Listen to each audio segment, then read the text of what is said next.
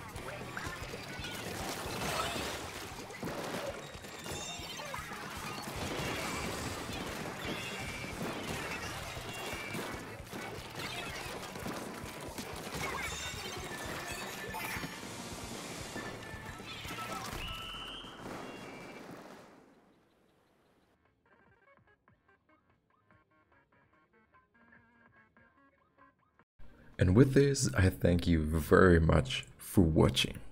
In case you're still here, I appreciate you. and if you enjoyed, consider dropping a like and subscribing to the channel. It's free, it's totally free. And please don't have me regret spending time on making a GooTuber video, please. for more high level gameplay on a wide, wide variety of weapons. And if you want to see the action live, come to my Twitch.